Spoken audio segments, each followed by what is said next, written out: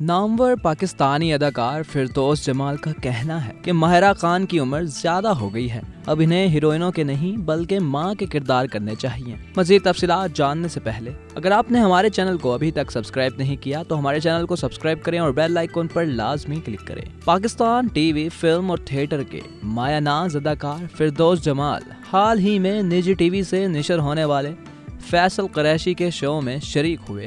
جہاں انہوں نے اداکارہ ماہرہ خان کے بارے میں اظہار خیال کرتے ہوئے کہا کہ ان کے نزدیک ماہرہ خان ہیروئن بننے کے لائق نہیں ہے فردوس جمال نے کہا، اگر میری بات کسی کو بری لگے تو معذرت چاہتا ہوں، لیکن مجھے نہیں لگتا ماہرہ خان کو اب ہیروئن کے کردار ادا کرنے چاہیے ماہرہ خان ماڈل ہو سکتی ہیں، لیکن وہ نہ تو ایک اچھی اداکارہ ہیں اور نہ ہی ہیروئن۔ دوست جمال کی اس بات پر میزبان فیصل قریشی معنی خیز انداز میں مسکرا دیے پھر توز جمال نے مائرہ خان کی عمر پر بات کرتے ہوئے کہا کہ مائرہ کی عمر زیادہ ہو گئی ہے اور اس عمر میں ہیروئنیں نہیں بلکہ ماں کے کردار کیے جاتے ہیں۔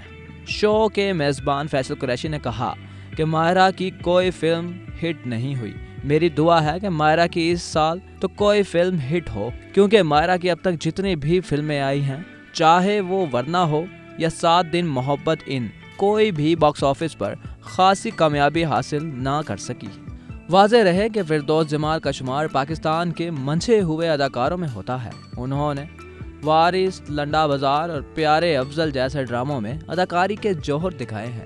اس سے قبل اداکارہ میرا نے بالی ووڈ کنگ شاہ رخ خان کی فلم رئیس کے حوالے سے کہا، شاہ رخ خان نے اپنی فلم میں مائرہ خان کو کاچ کیا، لیکن مائرہ اس قابل نہیں تھی۔ مائرہ نے اس فلم میں کام کیا اور پھر انہوں نے بھارت اور پاکستان کے بارے میں بات چیت شروع کر دی۔ میرا نے کہا، جب میں بھارت میں کام کرتی تھی، اس وقت میں پاک بھارت تعلقات کے بارے میں ہمیشہ مثبت اور اچھی باتیں کہتی تھی اور دونوں ممالک کی اچھی چیزوں کو نمایاں کرتی تھی، لیکن مائرہ خان کی کوئی کلاس نہیں۔ اداکارہ میرا نے مزید کہا، جب میں بھارتی سفارت خانے گئی، اس وقت وہاں موجود لوگوں نے مائرہ خان کے بیان کے بارے میں بات کی اور کہا، ہم آپ کو ویزا جاری نہیں کر سکتے۔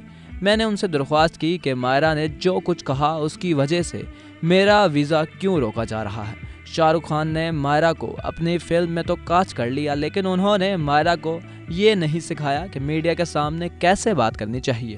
میرا نے معافی مانگتے ہوئے کہا کہ میں مائرہ خان کی غلطیوں پر معافی مانگتی ہوں اور تمام آرٹسٹ اور فنکاروں سے درخواست کرتی ہوں کہ دونوں ممالک کے درمیان تعلقات کو دوستانہ بنائے واضح رہے کہ فلم رئیس کی ریلیز سے قبل مائرہ خان کی ایک ویڈیو سوشل میڈیا پر وائرل ہوئی تھی، جس میں وہ کہتی نظر آ رہی تھی کہ ہمیں انڈیا سے متاثر نہیں ہونا چاہیے، ہم بالی ووڈ نہیں ہیں۔